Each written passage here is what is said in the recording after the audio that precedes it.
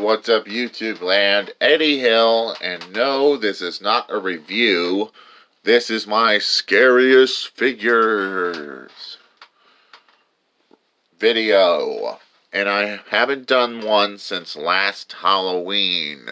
And we will be looking at the monsters from Bionicle through the mid 2000s to 2015. And these are some of the top 10 monsters that will leave you with a fright. First, we're going to look at the Bohrok. And yes, the Bohrok were pretty scary, if I do say so myself, because they could headbutt you, and they could launch mass to control your very mind. Now that's definition of a monster, if I do say so myself. Pretty, pretty interesting. Sorry if I had to correct myself there. That's why he's on number one on this top 10 scariest figures. and yes, I am going to be using the evil laugh in this video quite a bit. Next on the list, we have the Piraka. And they are some nasty villains.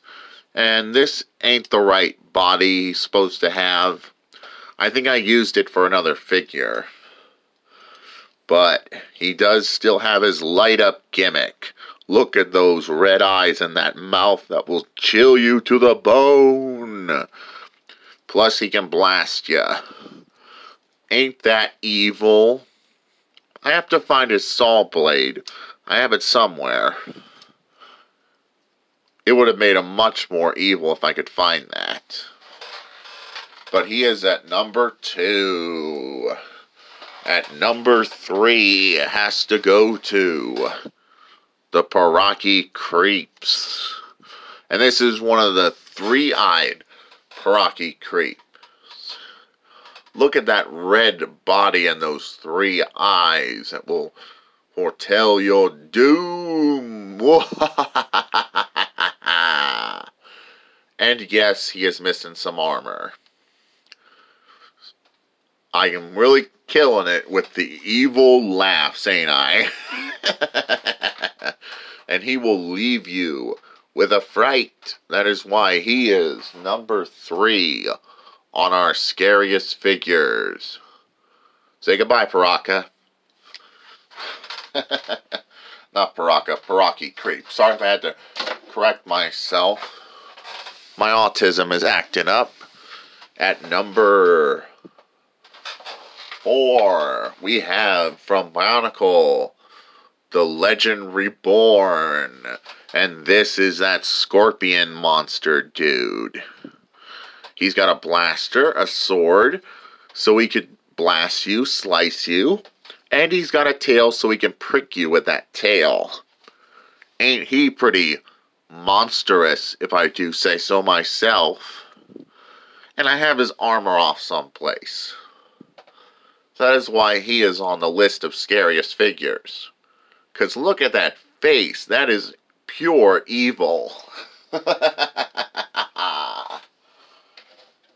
And now we're going to look at our figure number five. It would have to go to one of the most gnarliest of the Toa Victorian.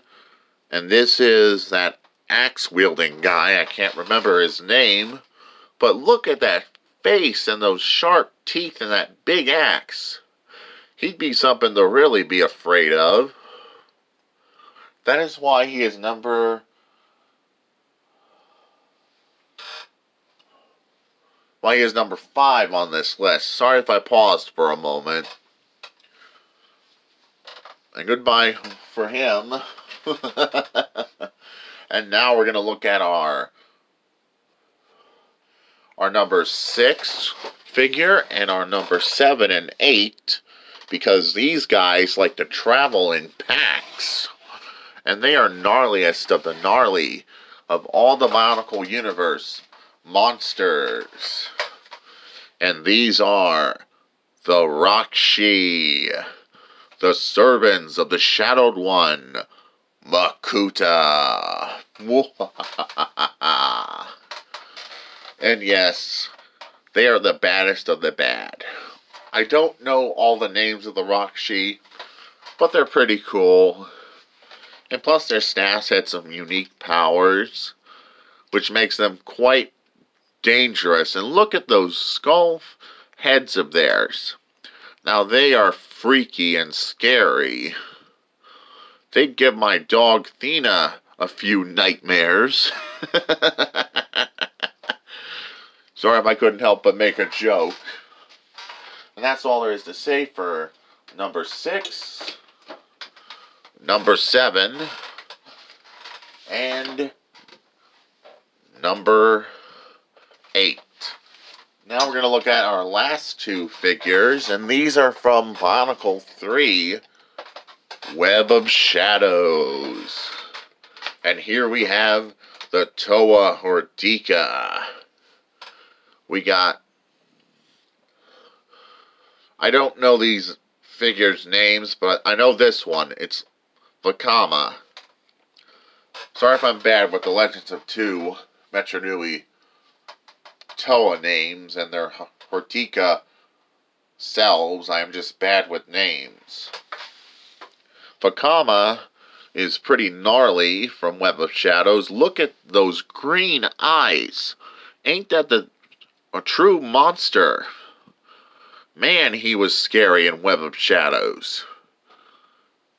And look at those flame shooters. Ain't that pretty gnarly scary? I wouldn't want to run into a Hordika for certain. That's all there's to say for Vakama at number 9. And finally, we have this guy. He could smash rocks with those big club things. And look at that head sculpt. It's pretty gnarly if I do say so myself. These are some pretty scary figures if I do say so myself. And You're probably wondering, why am I doing this video on Halloween? Well, because I always do a video like this on Halloween. It's it's talking about kicking off Halloween with a real scare. but that's all there is to say for this video. This is Eddie Hill moving on and rock on and rock out.